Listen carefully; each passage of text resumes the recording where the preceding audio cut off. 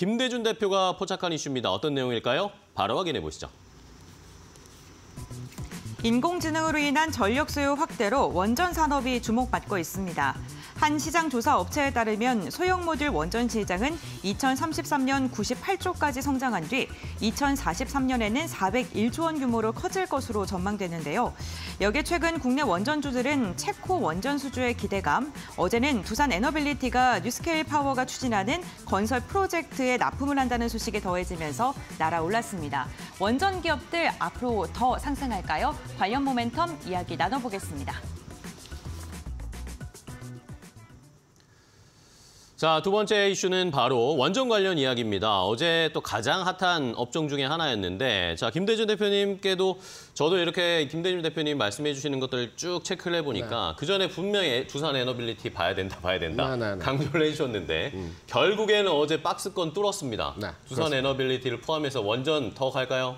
더 갑니다. 더 갑니까? 더 간다라고 보고 있고요. 제가 더 할 수 있는 이유에 대해서 한번 논거를 네, 제시해. 보겠습니다. 어, 지금 주식시장에서 정책주라고 하는 대표적인 섹터는 원전과 방산입니다. 네. 이제 시장의 흐름이거든요. 원전과 방산이 같이 갈 수는 없어요. 한쪽에 힘이 쏠릴 때는 한쪽이 쉬는 과정에서의 모습을 보여주거든요. 네네. 어, 원전주들은 지난 2021년도에 어, 대표적인 기업이었던 한전기술의 주가를 보게 되면 15,000원에서 11만 원까지 올라갔어요. 그리고 22년도부터 약 2년 동안 주가가 쉬어주는 그러니까 하락과 기간 조정을 갖추는 현재까지의 주- 어, 과정을 거쳤습니다. 반면에 22년도에서부터는 방산주들이 주가 움직였죠. 네, 그렇죠. 한화 에어로스페이스 같은 경우는 22년도에 5만 원 수준에서 25만 원까지 주가 올라왔어요. 네 네. 최근에는 정체되어 있죠. 음, 최근 정체된 상황에서 원전과 방산의 전체적인 그 주도권 경쟁 내에서 음. 어제 기점으로 해서 방산에서 원전으로 흐름이 넘어가는 넘어갔다. 과정에서의 흐름이 첫 번째로 진행되고 있다는 측면으로 우리가 해석할 수 있을 것이고요. 두 번째는 수주 실적입니다. 네. 어, 방산 같은 경우에 1분기 수주 실적이 77조 원이라고 합니다. 어느, 어느 정도 규모이냐면 우리 방산 4개사 있죠. 이 4개사가 2년 전에 어, 토탈 매출이 20조 원입니다. 그러니까 1분기에 77조는 어마어마한 어, 거죠. 그런데 우리가 이제 재료 가치 소멸과 재료 가치 그 확산 과정에서의 내용을 판단해 보게 되면 이미 재료 가치가 소멸되었다라고 보는 내용입니다. 이미 수주가 어느 정도 진행되었고요. 수주 발표 시- 어, 소식들이 예- 이미 나왔기 때문에 여기에 대한 주가 반응은 이제부터는 좀 기존과 다르게 좀 떨어질 가능성이 있다라고 판단이 되고 있죠. 네.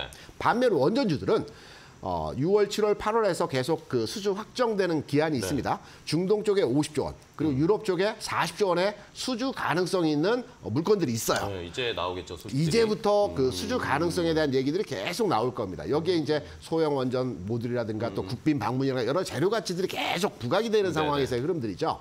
그래서 지금은 정책주 내에서의 순환 흐름에서 기존의 방산이 시장을 주도하는 형태에서의 흐름이 진행되었다라고 한다면 원전으로 넘어가는 첫 번째 단계에서의 흐름이다. 어. 그래서 어제 굉장히 주가 강했어요. 네네. 어, 두산 에너빌리티도 마찬가지지만 우진엔텍 같은 경우는 상한가 네, 마감을 그러니까요. 했습니다. 어, 놓쳤다. 라고들 많이 생각하실 수 있는데 네. 아닙니다. 어. 지금부터 바라보셔도 될 것 같습니다. 아, 알겠습니다.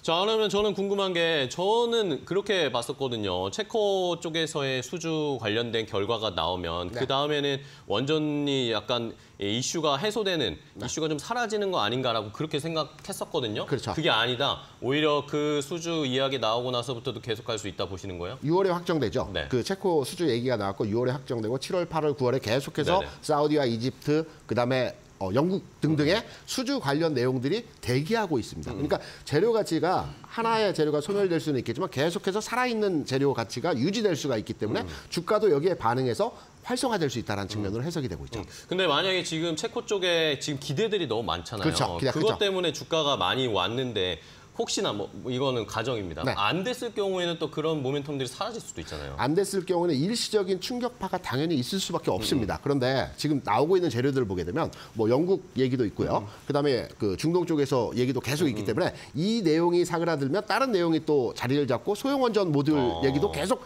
지금 발생되는 재료들이 엄청나게 많이 그쵸? 생성되고 있지 않습니까? 그래서 하나의 재료가 소멸되더라도 추가적으로 나올 수 있는 재료 가치 척 측면들이 굉장하기 때문에 이 주가의 이 섹터 섹터의 테마는 계속 유지될 가능성이 있다라고 해석이 되고 있고요. 방산주 한번 예를 들어서 판단해 보시면 네, 됩니다. 방산 같은 경우에도 기존에 수주 얘기가 있었고 수주에 대한 또 불확실성 얘기들도 많았었어요. 뭐그 수은과 관련된 뭐 돈을 못 받을 수 있다 이런 얘기들이 나왔었지만 결국 주가는 계속해서 우상향 형태를 보여줬거든요. 그렇네요. 이런 맥락에서 볼 때는 원전주의 주가 흐름도 우상향 형태의 시작점이다. 이렇게 해석할 수 있는 내용이죠. 알겠습니다. 자, 어쨌든 뭐 두산 에너빌리티 저희가 체코 쪽만 기대하면서 주가 올라가기를 기다렸 었는데 사실 어제 소형 원전 모듈 이야기 나오면서 올라갈지 아무도 몰랐잖아요. 예, 그런 걸 봤을 때는 김대준 대표가 말씀해 주신 대로 계속 지금 원전과 관련된 이 수주 이야기들이 나올 가능성 계속 차례차례 한번 올라갈 수 있을지 기대를 해보도록 하겠습니다. 자, 그러면 한번 주가 흐름 보겠습니다. 어제 모처럼 만에 원전주 가시, 가지시, 가지고 계셨던 분들 기분 좋으셨을 텐데 어, 최근의 주가 흐름 고은별 앵커가 체크해드리겠습니다. 네, 원전 관련 기업들의 흐름 함께 확인해 보도록 하겠습니다. 어제 원전주들 날아올랐습니다. 대표적으로 두산 에너빌리티, 두산그룹주들이 시장을 좀 이끌고 가는 모습이었는데요. 장중에는 52주 신고가를 새롭게 쓰는 모습도 나타났습니다. 종가상으로도 두 자릿대 강세를 유지하면서 21,300원까지 터치하는 모습이었습니다. 원전주들 차트를 보면 5일선 차트가 전반적으로 비슷한 흐름이 나타나고 있습니다. 어제 시세를 강하게 내뿜는 기업들이 많았는데요. 대표적으로 에너토프와 우진엔텍 같은 경우에는 상한가에 안착하면서 마감하는 데 성공을 했습니다.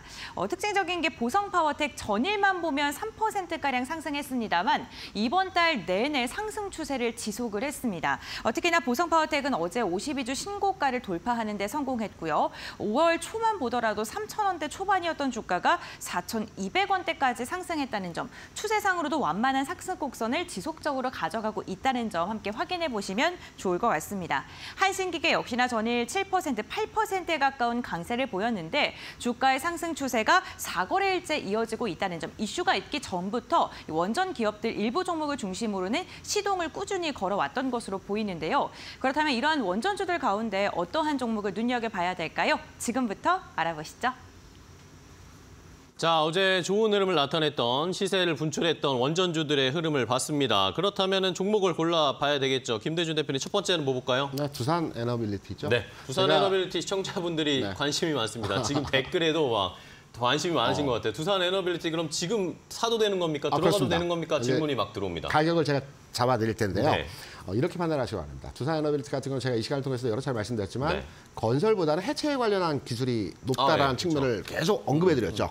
해체 시장이 어, 500조 시장, 400조, 500조 시장이라고 합니다. 어, 지금 운용되고 있는 원전이 한 400기 되고요. 네. 지금 가동 중단된 원전이 200기 정도 되고 지금 건설 중인 원전이 50기 정도 됩니다. 그러니까 해체를 위한 대기하고 있는 원전이 더 많다라는 거죠. 시장 규모가 더 크다라는 거죠. 그래서 종목을 접근하실 때도 건설과 관련된 그러니까 원전 건설과 관련된 종목들보다 해체와 관련된 독자적인 기술을 가지고 있는 종목에 대해서 우리가 관심을 가져야 된다는 측면으로 여러 차례 말씀을 드렸고 네네. 그 중에 원탑이 두산 에너빌리티라는 말씀을 드렸습니다. 일단 어제 굉장히 강한 흐름에서의 주가 상승을 보여줬죠. 기존의 주가 상황을 우리가 판단해 보게 되면 와 어제 완전히 강하다라고 판단하는데요. 여기서부터 잘 보셔야 됩니다. 네네. 왜냐하면 최근에 2년 동안의 박스 14,000원에서 18,000원 사이에서 2년 동안의 그러니까, 박스권을 아, 돌파하는 답답했습니다. 강한 시세를 보여줬어요. 네. 그러면 여기서 우리가 이제 이차적으로 어제는 놓쳤다 치더라도 음. 오늘부터 관심을 갖는다면 어느 시점에서의 흐름을 판단해서 가격을 잡느냐가 중요하겠죠. 그렇죠. 통상적으로 모든 주가의 흐름이 마찬가지겠지만 장기간의 박스 형태의 주가가 횡보했던 이후에 주가가 박스를 돌파했을 때는 네네. 재확인 과정을 거칩니다. 어. 재확인 과정이라는 게 뭐냐면 박스 상단 가격을 다시 한번 태핑하고 터치하고. 어. 다시 올라갑니다. 네네. 이 과정의 주가 흐름이 나타나거든요. 그러면 제가 앞서 14,000원에서 18,000원이라는 말씀을 드렸는데 네. 18,000원을 터치하느냐? 그건 아니고요. 박스 상단부를 상단. 터치합니다. 그러면 우리가 대략적으로 가격 책정을 책정한 한 2만 원 19,000원? 정도에서 19,000원 19,000원 사이, 19,000원에서 2만 원 사이의 주가가 들어오게 된다면 여기에서는 아 추가로 하다가면서 다시 꺾이는 거 아니야라고 판단하지 마시고요. 아 이거는 다시 가기 위해서 상단부를 터치하는 과정에서 주가 상황에서의 모습이구나라고 해서 전략적인 공략 지점으로의 가격으로 판단하시면 될 것 같습니다. 어. 그래서 두산에너비트는 어제 강했지만 바로 가는 것은 아닙니다. 여기서 주가가 계속해서 가는 것은 아니고요. 기존의 박스 상단을 한 번은 터치할 것입니다. 그래서 이 터치 시점을 어, 전략적인 진입점 19,000원에서 2만 원 사이 가격 사이에서의 전략적 지점으로의 판단으로 접근하시면 될 것 같습니다. 네. 자, 좋습니다. 접근하는 방법을 자세하게 알려주셨어요. 상단, 지금 그 기존의 박스권 상단을 한번 터치할 가능성이 있다. 19,000원에서 2만 원 사이 정도에 그럼 모아가면 좋을 것 같은데 네. 그럼 가격 전략 목표가나 뭐 손절 라인도 한번 잡아주시죠, 어, 자세하게. 일단 그 목표가 수준은 지- 기존의 고점을 돌파할 것 같습니다. 어디까지, 지금의 어디까지 보시는지 궁금하네요. 네. 어, 기존의 고점이 아마 3만 5천 원 정도 수준에서의 네네. 가격을 알고 있습니다. 시차의 과정은 걸리겠지만 음. 앞서 말씀드린 6월, 7월, 8월, 9월까지 해서 유럽 쪽의 수주, 그다음에 중동 쪽의 수주, 음, 어, 그리고 소형 원전 모듈과 관련된 내, 내용들이 계속 부각이 되면서 기존의 그 상단부를 돌파하는 과정에서의 모습이 나타날 걸로 판단이 되고 있고요. 음. 일차적인 목표가는 한 2만 5천 원 정도를 판단하고 있습니다. 시간은 걸리겠지만 기존 고점을 음. 돌파할 것이고요. 그리고 여기서 손절가 중요하죠.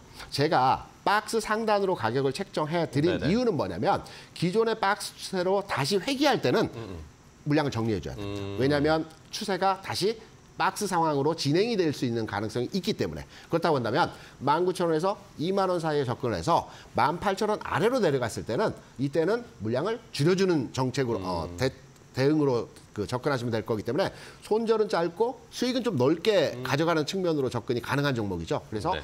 목표가는 일차적으로 2만 5천 원, 그리고 접근은 19,000원, 2만 원 사이, 손절은 18,000원 이하에서 대응을 하시면 될 것 같습니다. 네, 알겠습니다. 접근하는 방법 자세하게 알려주셨어요. 일단은 기본적으로 25,000원 1차 목표가 한번 보고 네. 그때 상황을 한번 더 봐야 되겠죠. 2021년에 어, 이 고가, 신고가가 3만 1,000원 그 부근이었습니다. 3만 880원 정도, 요 정도였는데 일단은 1차적으로 2만 5,000원 한번 보고 공략을 해보겠습니다. 자, 두 번째 종목 하나 더 볼까요? 아, 우진엔텍입니다. 우진엔텍. 어제 상한가죠. 네, 그죠. 그래서 아, 상한가 놓쳤다 하는데 어, 우진엔텍에 대해서도 제가 이 시간을 통해서 여러 차례 말씀드렸는데 원전 수리와 관련해서는 국내 원탑입니다. 어, 원전과 방산을 제가 말씀드렸는데요. 하나 핸디캡은 뭐냐면 원전과 방산은 영업이익률이 좀 낮습니다. 가장 그 대표적인 기업은 한화 에어로스페이스도 영업이익률이 5% 6% 정도 되고요. 네. 그리고 원전의 대표적인 그 두산 에너빌리티도 한 6% 영업이익 마진율이 그거밖에 안 됩니다. 네, 그렇죠. 그래서 어, 영업이익이 낮다는 게 하나의 그 핸디캡이긴 한데 수주 물량이 크죠. 70조, 90조. 음. 그렇죠. 뭐 이렇게 기본 액수가 크니까. 그렇죠. 네. 규모의 경제를 실현하는 업종이기 때문에 어, 마진이 좀 높지만 우리가 주가 상승을 기대할 수 있는 업종이라고 볼 수 있고요. 반면에 우진엔텍 같은 경우는 마진율이 15%가 넘습니다. 오. 독보적인 기술을 가지고 있죠. 원전 수리.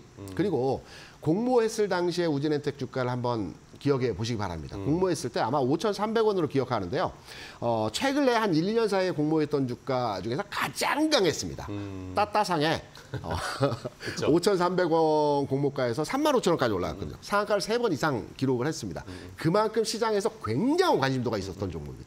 그렇기 때문에 이 종목에 대해서 추가 상승 여력이 있다라고 판단되고 있고요. 다만 공략을 하실 때 어제 장대 양봉이지 않습니까?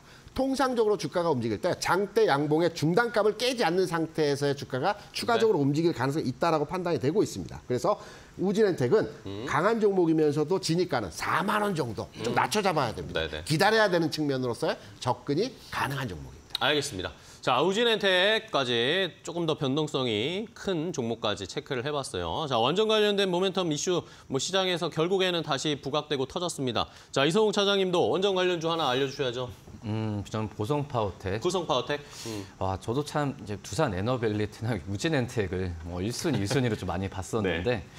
어, 우선 그래도 이제 보성 파워텍을 한번 좀 관심 있게 어, 좀 추가적으로도 봐도 괜찮지 않을까라고 좀 생각이 되고 있는데요. 이 보성 파워텍 같은 경우는 어, 어떤 이 원전에 대해서 뭐 개발하고 설계 이런 부분이 아니라 네. 가장 어떤 이 원전 쪽에서 그러니까 전선, 뭐 변압기, 특히 이 아시겠지만 철탑 있잖아요. 철탑에서의 그 구조물이 뭐 매출에서 30% 이상을 어. 차지하거든요. 그만큼 이 원전 뭐 전력 쪽에서의 가장 큰 하부적인 기본적인 기업을 하는 기업이 바로 이제 보성 파워텍이라고 할 수 있겠고요. 네. 근데 우선 보성 파워텍은 거의 이제 매출 부분은 내수 쪽이거든요. 그러니까 해외 쪽에서의 매출보다는 내수 쪽에서 밀어나고 있는 상황이기 때문에 어, 해외 쪽에서의 원전에 대한 음, 수주나 여러 가지 얘기가 들렸을 때 물론 이제 주가의 반응을 하고 있는 상황이지만 제가 봤을 때도 내수에서의 안정적인 어떤 사업 구조를 갖추고 있기 때문에 거기서 이제 해외 쪽에서의 수출이나 이런 부분은 덤이지 않을까. 어. 근데 지금 현재 이제 미국 쪽에서도 중국의 이런 그 여러 이 전력과 관련된 이 보조기구에 대한 이 관세를 매겼을 때는 이 보성 파워텍의 어, 미국 쪽에서의 수출에 대한 반사 이익도 저는 어느 정도 한번 기대를 해도 괜찮지 않을까 라는 생각이 들거든요. 네네. 뭐 그러기 때문에 보성 파워텍이 내수 쪽에서 치중돼 있다고 하더라도 한번 해외 쪽 매출을 기대해봐도 괜찮지 않을까 판단됩니다. 알겠습니다. 보성 파워텍 해외 쪽에서의 뭐 수주나 계약 이야기 나오면은 조금 더 부각 받을 수 있는 모멘텀이 플러스 알파가 되는 거니까요.